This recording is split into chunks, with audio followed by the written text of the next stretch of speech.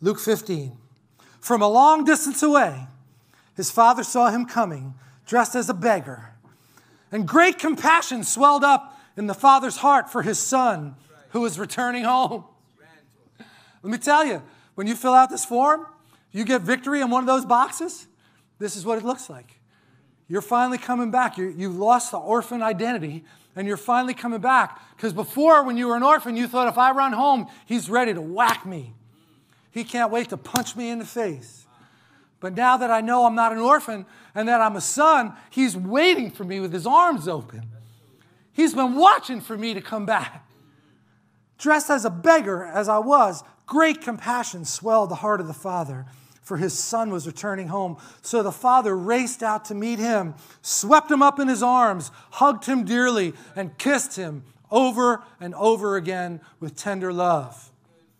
What would that look like in your life to be embraced by the Father when you've been walking with shame over things that you fall short on, over ways people have shamed you and constantly reminding you of that false identity. You're never going to make it. You're a loser. You're stupid, whatever they, they've labeled you with. Break it off, Sam. It's breaking off. It's not, not yours. It never was yours because God has an identity for you and feel Him wrapping His loving arms around you. That's how it works.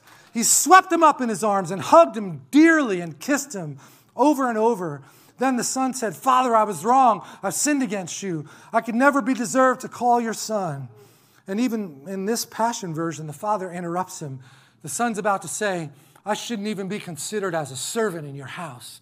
And the father interrupts him and says, Son, you're home now. Do I feel like I'm home with God? Because if you're a child of God, that's how it'll feel like I'm home, I'm safe. I don't have to earn living here in this house because I'm a child. That cannot be separated. My sonship cannot be broken. If I think I'm just adopted and that can be canceled, then I'm always living with that fear and that worry. Quick, bring me the best robe, my very own robe, the father said to his servants, and I will place it on his shoulders. Whew. Do you ever wonder about like why they put the bars on your shoulders in the military? Because it's a sign of authority. So he didn't say, bring me any old robe. He said, bring me the best robe. I want to clothe him. I want people to know when they look at him that he's my son. And that's how it should be for us. And so much of it is on our side to grasp and understand our role as sons and daughters of a living God, not the orphan, outcast, earning my way. Well, if I just do this right, if I just do that right, then maybe he'll love me. Just throw me some crumbs under the table. No, no, you have a seat at the table. Look at somebody next to you and say, You have a seat at the table. Even if your name is Mephibosheth.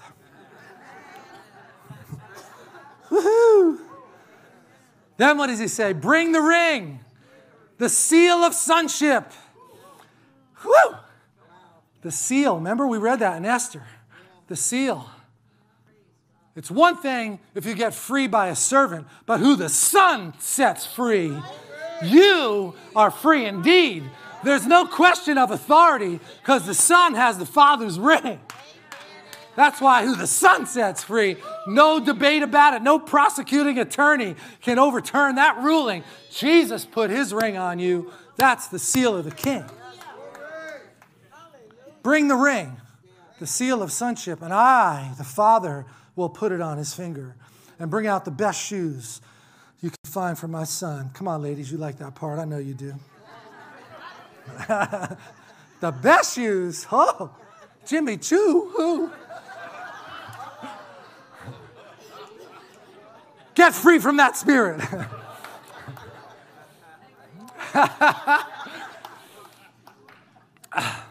See, anytime that we're putting our hope in a thing instead of the Father, we are taking so much less than what He wants us to have.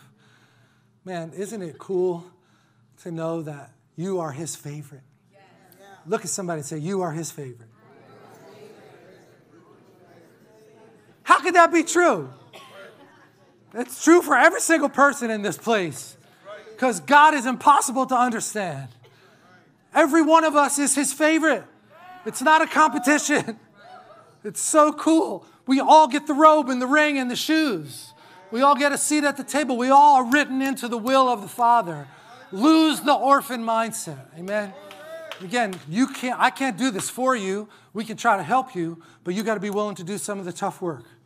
And, and look, there's going to be a mechanism that tries to kick in and say, flee.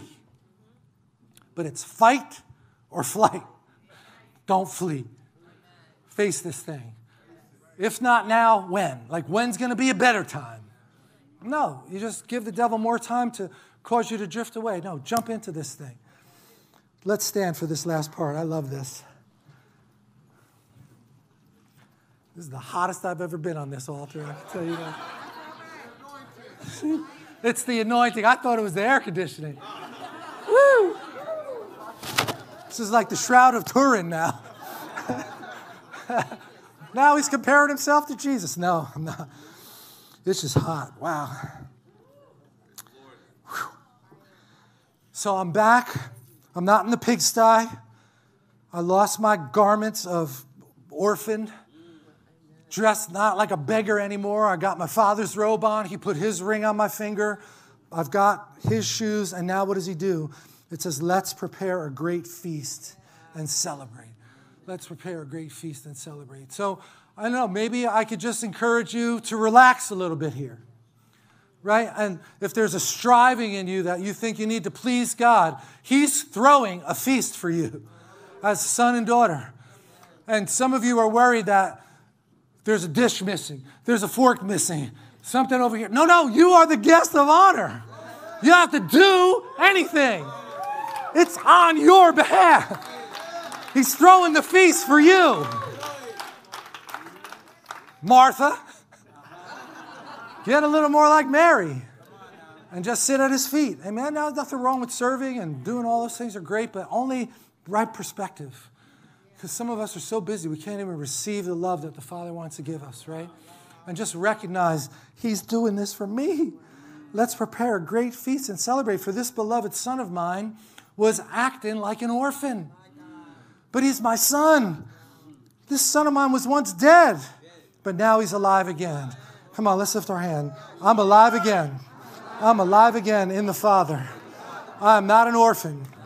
I accept my role as son and daughter of the living God.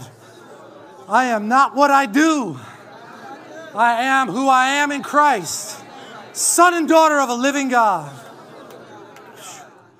So, Lord, I just ask you to give us that new birth certificate today that I saw in the Spirit as we dig down and we look on some of the layers that have built up in our lives. And this isn't like terminal illness kind of stuff, but it's holding us back on the things that will help us move forward.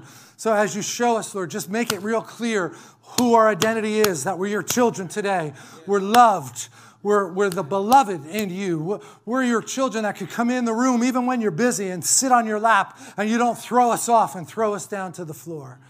We cancel that counterfeit identity now in Jesus' name.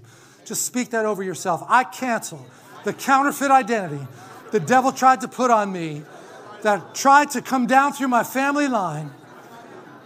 I cancel it, I renounce it, I repent of it, and I decree life over my identity. That I am not an orphan, but I am a son and daughter of a living God.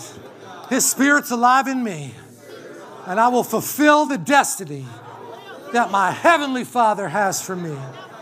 In Jesus' name. Everybody said, Yes. Amen.